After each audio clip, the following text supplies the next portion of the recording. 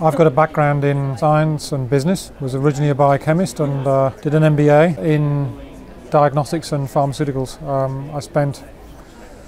probably the first uh, 10 years of my career with Roche in, uh, in diagnostics and the last six or seven years in pharmaceuticals.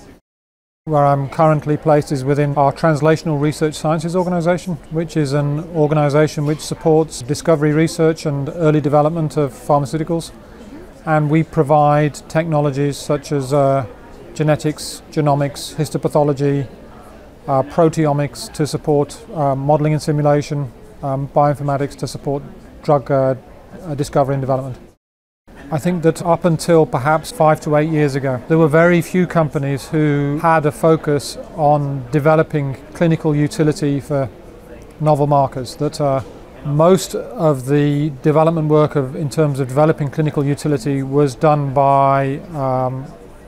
clinician practitioners um, or by the community in general, and little work was done by companies.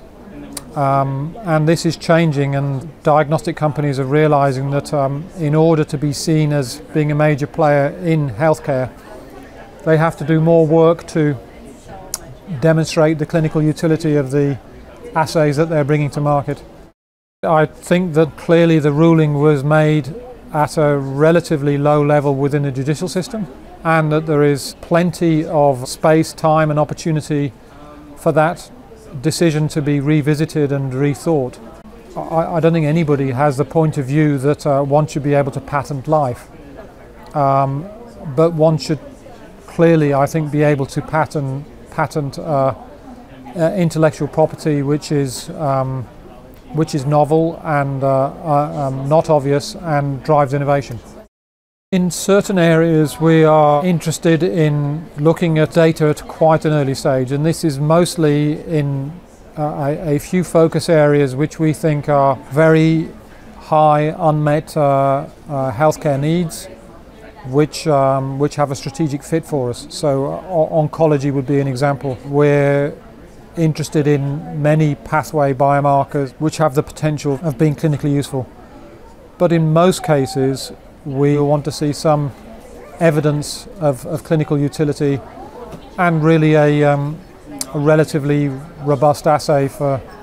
measuring the biomarker.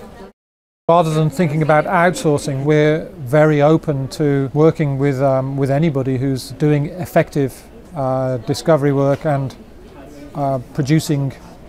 good evidence of, of clinical utility. I think we're really only going to see evolutionary changes. If we look at the work that's been done in terms of whole genome association studies and the influence of genetics on major disease, we can see that um,